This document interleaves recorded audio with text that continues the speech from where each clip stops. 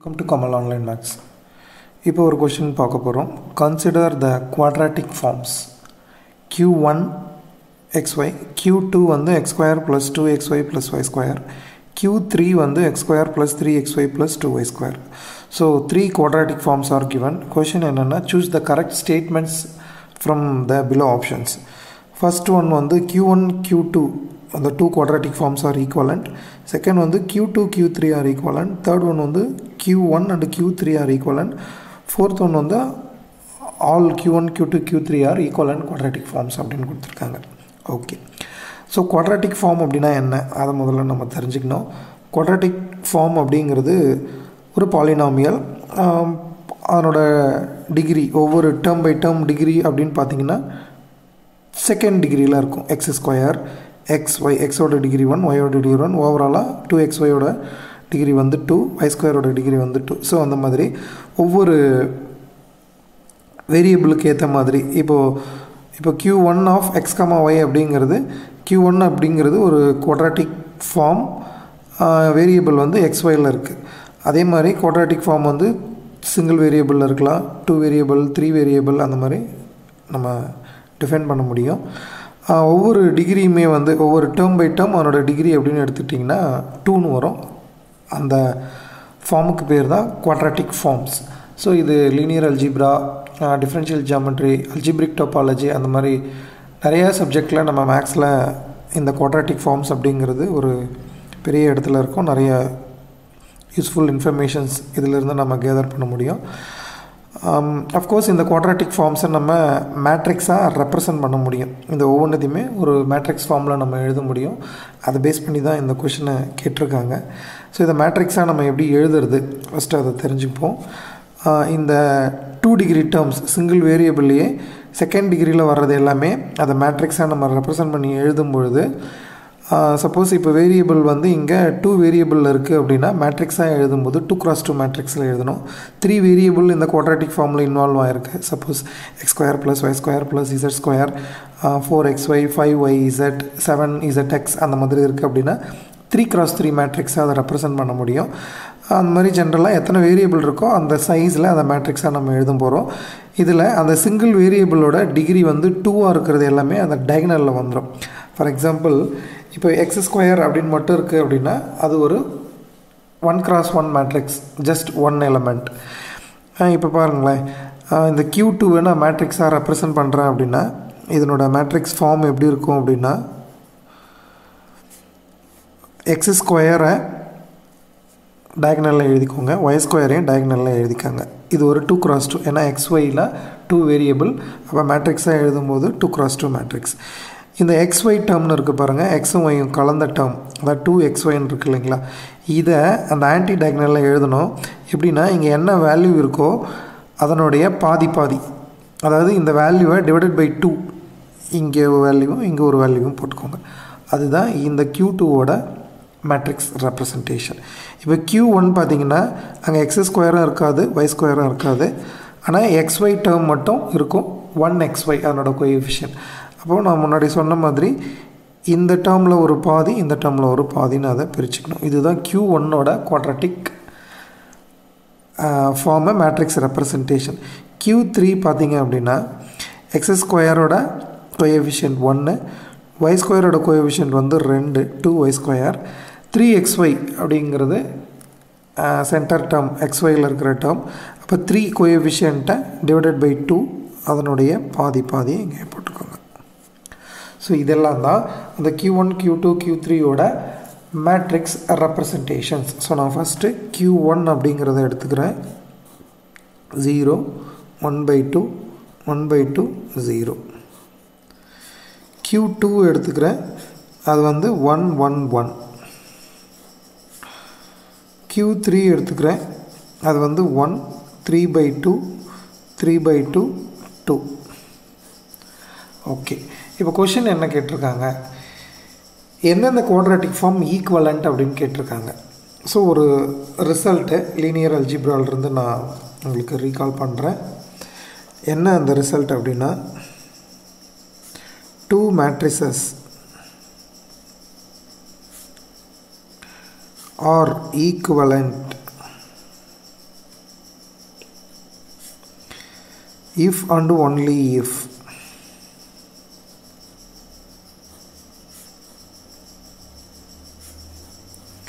they have the same rank. இந்த ரிசல்ட்டை நம்ம அண்டர்ஸ்டாண்ட் பண்ணிக்கலாம். இப்போது ஏபி டூ மேட்ரிக்ஸ் இருக்குது அந்த ரெண்டு மேட்ரிக்ஸும் ஈக்குவலண்ட் மேட்ரிக்ஸஸ் அப்படின்னு நம்ம டிஃபைன் பண்ணணும் அப்படின்னா ஏவும் பியும் ரேங்க்கில் ஈக்குவலாக இருக்கணும். ஸோ எப்போல்லாம் ஏபியோட ரேங்க் ஈக்குவலாக இருக்கோ அப்போல்லாம் நம்ம அந்த ஏவையும் பியையும் ஈக்குவலண்ட் மேட்ரிக்ஸஸ் அப்படின்னு சொல்லலாம். ஸோ இப்போது Q one Q two Q three நம்மக்கிட்ட த்ரீ மேட்ரிக்ஸ் இருக்குது இப்போது Q one Q two Q three எல்லாம் ஈக்குவலண்ட்டாக இல்லையா அப்படின்னு தெரிஞ்சுக்கணுன்னா ஒவ்வொரு மேட்ரிக்ஸோட ரேங்க்கை ஃபஸ்ட்டு நான் கண்டுபிடிச்சிருவேன். ஸோ எந்த மேட்ரிக்ஸோட ரேங்க் எல்லாம் ஈக்குவலாக இருக்கோ அதெல்லாம் ஈக்குவலண்ட்டாக இருக்குது அதாவது எந்த மேட்ரிக்ஸோட ரேங்க் எல்லாம் சமமாக இருக்கோ ஈக்குவலாக இருக்கோ அந்த மேட்ரிக்ஸஸ் எல்லாம் ஈக்குவலன் மேட்ரிக்ஸஸாக இருக்குது அப்படின்னு நான் சொல்ல போகிறேன் ஸோ க்யூ ஒன்னோட ரேங்க் என்ன வரும்? ரேங்க் ஆஃப் க்யூ ஒன் இப்போ க்யூ ஒன்று இருக்குது என்கிட்ட. Zero one by two one by two zero ஒரு மேட்ரிக்ஸோட ரேங்க் அப்படிங்கிறது maximum number of non zero minor of the matrix அப்படின்னு டிஃபைன் பண்ணுவாங்க. ஸோ இது ரேங்க் டூவாக இருக்கணும் அப்படின்னா two cross two determinant zero ஆகக்கூடாது. க்யூ ஒன்னோட டிட்டர்மினண்ட் வேல்யூன்னு பார்த்தீங்கன்னா மைனஸ் ஒன் பை ஃபோர்னு வரும். அப்போ அது ஜீரோ ஆகலை. அப்போ அதனோட ரேங்க் வந்து டூ க்யூ டூ எடுத்துக்கிறேன். Rank of Q two Q டூவோட டிட்டர்மினண்ட் வேல்யூ பார்த்திங்கன்னா ஜீரோ ஆகிடும் அப்போ ரேங்க் வந்து டூவாக இருக்காது. ஒரு ஒன் கிராஸ் ஒன் மைனர்னு ஒரே ஒரு சிங்கிள் எலமெண்ட் ஒன்று எடுத்தால் அதனுடைய டிட்டர்மினண்ட்டு ஜீரோ ஆகாது. ஸோ அப்போது டூவாக இருக்காது ஒன்னாக அது இருக்கும். அப்போ அதனோட ரேங்க் வந்து ஒன் நெக்ஸ்ட்டு வந்து க்யூ த்ரீயோட ரேங்க்கை கண்டுபிடிக்கிறேன். க்யூ த்ரீ பார்த்திங்கன்னா two minus nine by four அதுவும் ஜீரோ ஆகாது. அப்போ அதனுடைய ரேங்க் வந்து ரெண்டு. அப்போ க்யூ ஒன் க்யூ த்ரீ அதுதான் ரேங்க் வைஸில் பார்த்திங்கன்னா ஈக்குவலாக இருக்குது அப்போ ரேங்க் ஆஃப் க்யூ ஒன்னும் ரேங்க் ஆஃப் க்யூ த்ரீயும் ஈக்குவலாக இருக்குது ரெண்டுமே டூ அப்போ கியூ ஒன் க்யூ டூவும் ஈக்குவலன் மேட்ரிக்ஸாக இருக்கும். அப்போ Q one Q three option பார்த்திங்கன்னா பி அதுதான் இந்த கணக்குக்கான சரியான விடை. ஸோ இந்த கணக்குக்கு நம்ம பயன்படுத்தின லீனியர் அல்ஜிப்ரா விஷயம் என்னென்னா ரெண்டு மேட்ரிக்ஸு ஈக்குவலண்ட் அப்படின்னு சொல்லணும்னா அதுக்கு சேம் ரேங்க் இருக்கணும். ஸோ அந்த கான்செப்ட் இங்கே நம்ம புரிஞ்சுக்கிட்டோம் அப்படின்னா அந்த குவாட்ராட்டிக் ஃபார்ம்ஸை மேட்ரிக்ஸாக மாற்றிக்கிட்டு அந்த ஒவ்வொரு மேட்ரிக்ஸோட ரேங்க்கை கண்டுபிடிச்சிட்டு எந்த மேட்ரிக்ஸுக்கு ரேங்க் ரெண்டும் சமமாக இருக்கோ அது ரெண்டும் ஈக்குவலண்ட் அப்படின்னு சொல்லிடலாம். Next question let gamma be the circle given by z equal to four e power i theta theta varies from zero to two pi then integral over gamma e power z dz divided by z square minus 2z equal to what? அதான் question so ஒரு function இருக்குது நமக்கு z கொடுத்துருக்காங்க. Four e power i theta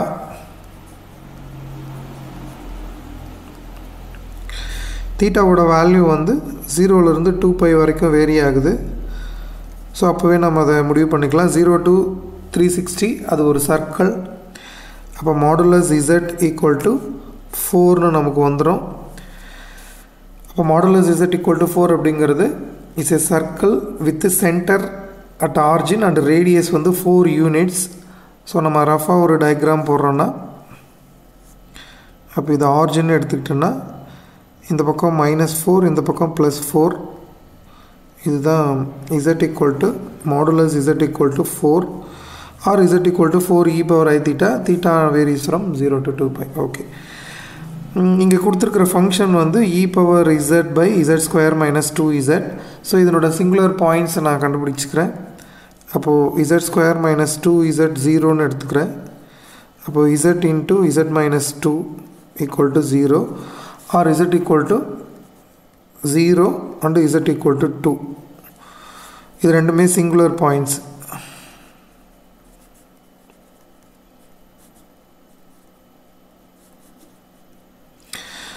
அதே நேரத்தில் modulus Z equal to ஃபோரில்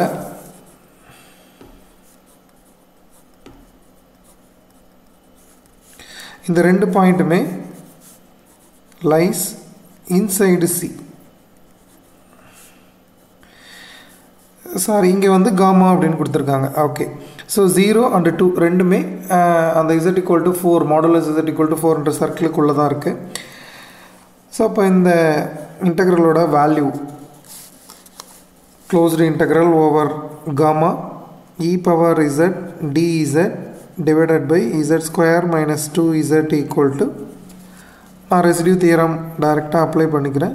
Two pi i into sum of the residues so residues எங்கே எங்கே அப்படின்னா இந்த singular points inside the C அப்போ இசட் ஈக்குவல் டு ஜீரோவில் அதனோட residue residue of f of z at z equal to zero and residue of f of z at z equal to 2. So 2 pi i.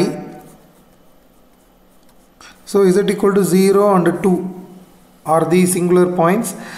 Um, Rendme is a pole of order 1 simple pole okay so f of z க்கு z equal to 0ல நான் residue எடுக்கிறேன் அப்போ limit z tend to 0 z minus 0 into f of z வந்து e power z by z square minus 2 or z into z minus 2 similarly z equal to 2 க்கு residue கண்டுபிடிக்கிறேன் limit z tends to 2 z minus 2 into e power z by z into z minus 2 so next term 2 pi i z இங்கே cancel பண்ணுறேன் இசட்டுக்கு ஜீரோன்னு substitute பண்ணுறேன் அப்போ ஒரு Z cancel ஆனதுக்கப்புறமா இசட்டுக்கு ஜீரோ கொடுக்கும்போது e power zero by zero minus two plus இசட்டுக்கு டூன்னு லிமிட் எடுக்க போகிறேன் இசட் மைனஸ் டூவை கிளியர் பண்ணுறேன் அப்போது e square by zero minus two அப்போ two pi i into e power ஜீரோனா one வரும். அப்போ minus one by two plus e power o இசட்டுக்கு டூன்னு சப்ஸ்டிட் பண்ணுறப்போ இசட் மைனஸ் டூ கேன்சல் ஆனால் e square by just two தான் வரும். Sorry அப்போ e E square by டூன்னு வந்துடும் ஸோ இந்த டூவை இங்கே பொதுவாக எடுத்து வெளியில் கேன்சல் பண்ணுறோம் அப்படின்னா ஆர் இதை நீங்கள் புரிகிற மாதிரி two pi i e square minus one by two அப்படின்னு எழுதிக்கலாம். டூ கேன்சல் ஆனால் pi i into e square minus one அப்படின்னு உங்களுக்கு வரும் அப்போ இந்த இன்டெக்ரலோட value pi i into e square minus one option B அப்படிங்கிறது இந்த கணக்குக்கு சரியான விடை next question f be a function from C to C. C means set of all complex number defined by f of z equal to e power z plus e power minus z. So அந்த function என்ன கொஷின்னா finitely many zeros no zeros only real zeros infinitely many zeros so இந்த ஃபங்க்ஷனோட ஜீரோஸை base பண்ணி ஒரு கொஷினை கொடுத்துருக்காங்க. So f of z அப்படிங்கிறது e power z plus e power minus z so அதனோட ஜீரோஸை நான் கண்டுபிடிக்க போகிறேன் அப்போ எஃப் ஆஃப் இசட் எப்போ ஜீரோ ஆகும்? எப்போ கண்டுபிடிக்கலாம்? E power z plus e power minus z equal to zero so e power z plus e power minus z ஜீரோனா ஒரு ரிலேஷன் இருக்குது e power z plus e power minus z by two அப்படிங்கிறத cos hyperbolic அப்படின்னு எழுதலாம். ஏன்னா இங்கே by two போகிறதுனால இங்கே ஒன்றும் ஆகாது. ஏன்னா ஈக்குவல் டு ஜீரோன்னு தானே இருக்கு. அப்போ இது cos H Z equal to zero cos hyperbolic ஃபங்க்ஷனோட டெஃபினேஷனில் காஸ் ஹெச் இசட் எப்போ கிடைக்கும் அப்படின்னா காஸ் ஐ இசட்டை வேல்யூவை நம்ம கண்டுபிடிக்கிறோம் அப்படின்றப்ப தான் அது காஸ் ஹெச் இசட் அப்படின்னு வரும். ஏன்னா நமக்கு டெஃபினேஷன் தெரியும். காஸ் ஐஎக்ஸ் அப்படின்னா அது காஸ் ஹெச்எக்ஸ் சைன் ஐஎக்ஸ் அப்படின்னா அதனோட வேல்யூ வந்து ஐ சைன் ஹெச்எக்ஸ் இது hyperbolic ஃபங்க்ஷனோட definition so cos h z equal to ஜீரோனா அதை ஹைப்பர்பாலிக்லேருந்து ட்ரிக்னாமெட்ரிக்கு cos i z equal to zero அப்படின்னு எழுதலாம். காஸ் எப்போ ஜீரோ ஆகும்? இப்போ cos i z equal to cos n pi plus pi by two so காஸோட pi by two வேல்யூஸ்க்கு ரிப்பீட்டடாக n pi plus five pi டூக்கெல்லாம் அது ஜீரோ ஆகும். இந்த என் அப்படிங்கிறது செட் ஆஃப் ஆல் இன்டீஜர்ஸ் அதாவது zero plus or minus one plus or minus two அந்த மாதிரி வேல்யூக்கு எல்லாத்துக்குமே காசு ஜீரோ ஆகிடும் அப்போ i z equal to n pi plus pi by two or z equal to one by ஐன்னு வரும். ஒன் பை ஐயோட வேல்யூ வந்து minus i n plus one by two into பைன்னு வரும்.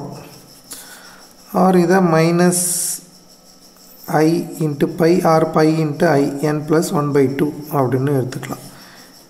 இதுதான் இசட்டோட வேல்யூ ஸோ இந்த வேல்யூக்கெல்லாம் இசட் ஜீரோ ஆகும். Okay இப்போ ஆப்ஷன்ஸை பார்க்கலாம் வாங்க. ஸோ இந்த எண் வந்து ஆல்ரெடி நம்ம சொல்லிட்டோம். இன்டீஜர்ஸ் ஓகே ஸோ ஆப்ஷனில் ஃபஸ்ட்டு என்ன சொல்கிறாங்க ஸோ நம்ம இங்கே இசட்டோட வேல்யூ நான் இங்கேயே எழுதிக்கிறேன்.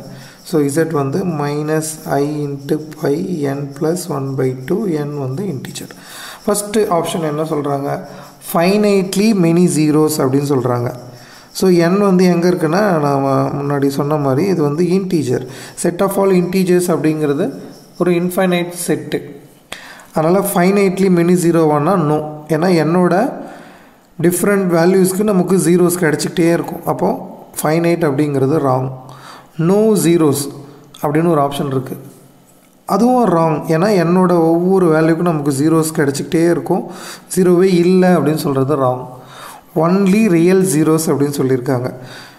நம்ம இசட்டோட ஜீரோ வேல்யூவில் பார்த்தீங்கன்னா ஒரு டேர்மே இருக்குது மைனஸ் ஐ அப்படின்னு ஒன்று இருக்குது அது வந்து இமேஜினரி யூனிட் நம்ம i square equal to minus one அப்படின்னு டிஃபைன் பண்ணுற அந்த காம்ப்ளெக்ஸ் யூனிட் அது இமேஜினரி யூனிட் அதனால் ஒன்லி ரியல் ஜீரோஸ் அப்படிங்கிறதும் ராங் அப்போ இன்ஃபைனைட்லி மெனி ஜீரோஸ் அப்படிங்கிறது தான் சரி. அப்போ இந்த கணக்குக்கான சரியான விடை அப்படின்னு வரும்போது option D cos h z has infinitely many zeros அதுதான் சரியான விடை.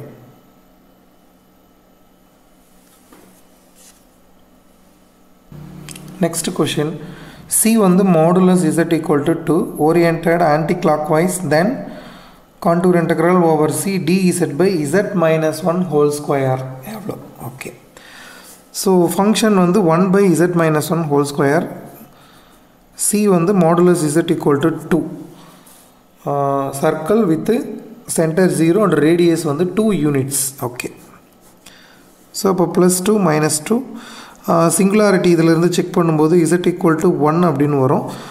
Z equal to one is a pole of order two or double pole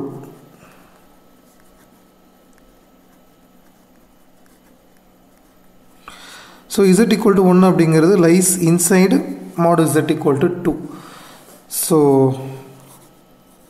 over C d z by z minus one whole square இதனோட வேல்யூன்னு வரும்போது two pi i into sum of the residue so இங்கே எஸ்ட் equal to one அப்படிங்கிறது ஒரே ஒரு pole அது வந்து போல் ஆஃப் ஆர்டர் டூ அப்போ two pi i into residue of f of z at z equal to one so z equal to one அப்படிங்கிறது இங்கே போல் ஆஃப் ஆர்டர் டூ அப்படிங்கிறதுனால அதனோட ரெசிடியூவை நான் limit z tends to one z minus one whole square into sorry இங்கே ஒரு d by d z வரணும்.